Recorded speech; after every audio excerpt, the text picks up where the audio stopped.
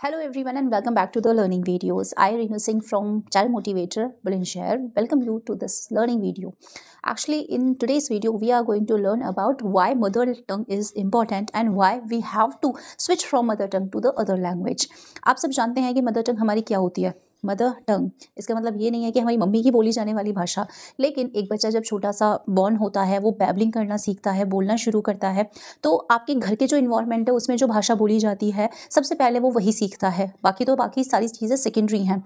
जब वो छोटा बच्चा होता है, उसके घर में जो भी लैंग्वेज यूज़ की जाती है, उसे हम लोग मदर टंग का नाम देते हैं। अच्छा एक बात ध्यान में रखिए कि अगर हम लोग नॉर्थ इंडिया में रह रहे हैं, यहाँ पर काफ़ी स्टेट्स हैं, राजस्थान है, हरियाणा है, पंजाब है, उत्तर प्रदेश है, बिहार भी है तो हर किसी स्टेट की एक मदर टंग लैंग्वेज हो सकती है, क्योंकि हर कोई जो रहने वाला है, उसके जो परिवेश है, उसका जो इन्वायरमेंट है, वो बिल्कुल अलग है।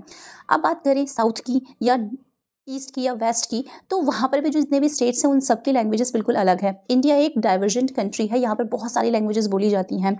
लेकिन सब लोग जो हैं, वो एक नॉर्मल हिंदी लैंग्वेज को समझ पाते हैं और दूसरी हमारी ऑफिशियल लैंग्वेज है इंग्लिश उसको समझ पाते हैं। आज के डेट में हम लोग बहुत ज़्यादा ज़ोर डाल रहे हैं कि हम लोग इंग्लिश लैंग्वेज को सीखें बिकॉज़ वो बहुत ज़्यादा यूज़ की जाती है। इवन आप जब किसी कंपनीज़ में इंटरव्यूज़ के लिए जाते हैं तो भी ये पूछा जाता है कि आपको इंग्लिश लैंग्वेज आती है? अगर आप किसी न्यूज़पेपर को जो इंग्लिश में है उसे पढ़ रहे हैं, उसे समझने के लिए भी आपको इंग्लिश लैंग्वेज आनी ज़रूरी है। कोई मूवी ही है इंग्लिश में, अगर आप उसको समझना चाहते तो at the time also you should know English language चलिए, ये तो बात हो गई कि हमारी इंग्लिश लैंग्वेज किस लिए इंपॉर्टेंट है। अब बात करते हैं कि अगर हम साउथ में जाएँ, वहाँ पर बहुत सारे स्टेट्स हैं, सबकी अलग अलग लैंग्वेज है, कन्नड़ा, तमिल, तेलुगू, मलयालम, बहुत सारी लैंग्वेजेस हैं। अब बात करते हैं कि इस मदर टंग जो है, उससे हम लोग किस तरीके से स्विच करके इंग्लिश लैंग्वेज में आ सकते हैं। आज की हमारी एक छोटी सी स्टोरी है, जो है तेनाली रामन की स्टोरी फॉर एग्ज़ाम्पल मैं आपको एक छोटी सी स्टोरी इसलिए बताना चाहती हूँ, जिससे कि आपको ये पता चल जाए कि हमारी जो मदर टंग है, अगर वो कोई भी लैंग्वेज है, इसमें कोई बुरी बात नहीं है, कोई गलत बात नहीं है, अगर हम उस लैंग्वेज में बात करते हैं। क्योंकि अगर हम किसी को अपने आइडियाज़ कोई थॉट्स कोई व्यूज़ समझाना चाहते हैं तो सिंपल सी बात है, या तो हम उस लैंग्वेज को यूज़ करेंगे, जो सामने वाला पर्सन समझ रहा है, या हम उस लैंग्वेज को यूज़ करेंगे, जो हमें आती है। हम बहुत ज़्यादा प्रेशराइज करते हैं इंग्लिश को सीखने के लिए, क्योंकि वो एक ऑफिशियल लैंग्वेज है, जिसमें हम दूसरे पर्सन को वो बात समझा सकते हैं। मेरी जो स्टोरी है वो है तेनाली रामन की।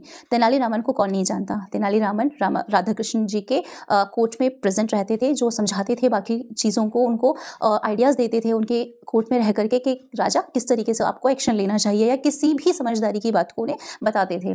अब ये जो तेनाली रामन थे, बहुत ही ज़्यादा वाइस पर्सन थे तो उनके जो आसपास में पर्सन रहते थे, जो लोग थे कोर्ट के, सारे दरबारी, वो उनसे बहुत ज़्यादा जेलस फील करते थे। बहुत ज़्यादा ईर्षा करते थे कि ये हमेशा राजा के नज़रों में रहता है और हम एक ना एक दिन कुछ करके इसको इसके जो विजडम है, इसको कम कर देंगे और सबके सामने साबित करेंगे कि तेनालीरामन झूठा है।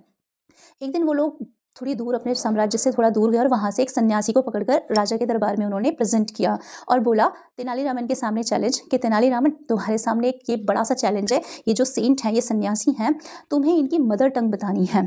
अब लेकिन उसके लिए कंडीशन ये है कि ये जो सेज हैं, संत हैं, ये अपने मुँह से कोई भी वर्ड नहीं बोलेंगे। तुम्हें बिना इनकी भाषा को सुने इनकी मदर टंग बतानी है। ये एक बहुत डिफ़िकल्ट टास्क था तेनालीरामन के लिए, लेकिन वो एक बहुत वाइस पर्सन थे। ले, उनके लिए तो ये करना चुटकियों का काम था।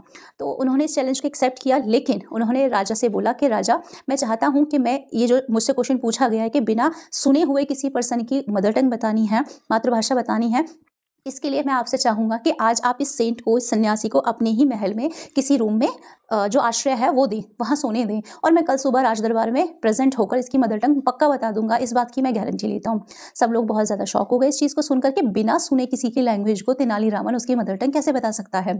तो वो रात भी आ गई, सब लोग अपने अपने घरों में सो रहे थे और वो जो सन्यासी था, वो राजा के महल में किसी कक्ष में सो सो रहा था। तेनालीरामन उनके पास गए और उन्होंने एक मोर का पंख लिया। छोटा सा मोर का पंख लिया और उसका जो बाहर पेटल होता है ना गोल चंद्रमा जैसा उसको कट कर दिया और एक छोटा सा होल की तरह उसको बना लिया। जब वो सन्यासी वहाँ सो रहे थे तो वो बहुत दबे पाँव उनके पास गए और उनके कान में थोड़ा सा उसको आ, हिलाने लगे जिससे कि एक बार तो सन्यासी ने अपने कान को झटक करके दूसरी साइड करवट लेकर सो गया। लेकिन थोड़ी देर के बाद फिर से तेनालीरामन ने वही एक्ट को रिपीट किया और उसके कान में उसी को फिर से घुमाने लगे। यही सब देख करके जो सन्यासी था उसके मुँह से आवाज़ निकली और वो जब आवाज़ निकली तो तेनालीरामन समझ गए।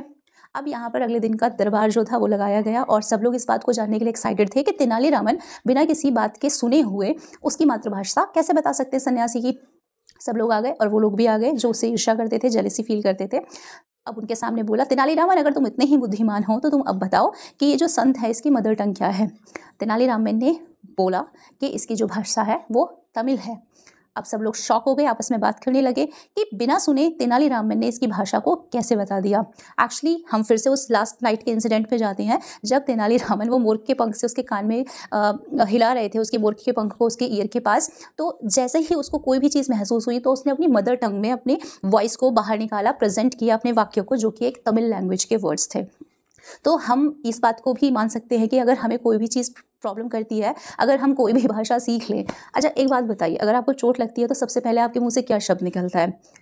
ऑफकोर्स ये बात है, आप मुझे कमेंट बॉक्स में भी बता सकते हैं, लेकिन मेरे जो है माउथ से निकलता है, वो माँ वर्ड निकलता है। आप सबके साथ भी शायद ऐसा ही होता होगा, और कोई पापा तो नहीं बोलता ना, माँ ही बोलते हैं, क्योंकि माँ हमें जन्म देने वाली है। सबसे पहला स्पर्श हमारी माँ का होता है और हमारी जो मातृभाषा है, जो हमारे परिवेश में, हमारे इन्वायरमेंट में हम सीख रहे हैं, वो भी हमें ज़्यादातर हमारी माँ ही सिखाती है। तो यहाँ पर जो हमारी मदर टंग है, वो हम लोग स्विच इसलिए करते हैं क्योंकि हमें हमारे आइडियाज़ किसी को बताने हैं प्रेजेंट करने हैं। इसलिए हमारी मदर टंग सबसे ज़्यादा ज़रूरी है कि हमें बहुत प्रॉपरली हम उस पर अटेंशन पे करें रेदर दैन कि हम सेकेंड लैंग्वेज को सीखें। अगर आप अपनी मदर टंग में बिल्कुल स्पेशलाइज्ड हैं, अपनी मदर टंग में किसी को अपने आइडियाज़ थाट्स को शेयर कर सकते हैं एक्सप्लेन कर सकते हैं इट डजेंट मैटर कि आपको इंग्लिश आनी ही चाहिए। But anyhow this is an official language सीखनी ज़रूरी है। आई होप इस वीडियो को आप शेयर करेंगे लाइक करेंगे कमेंट करेंगे। कमेंट में आपको क्या करना है? आपको मुझे बताना है कि जब आपको चोट लगती है तो आप किसका नाम लेते हैं? आपके माउथ से क्या आवाज़ निकलती है? Thank you so much see you in the next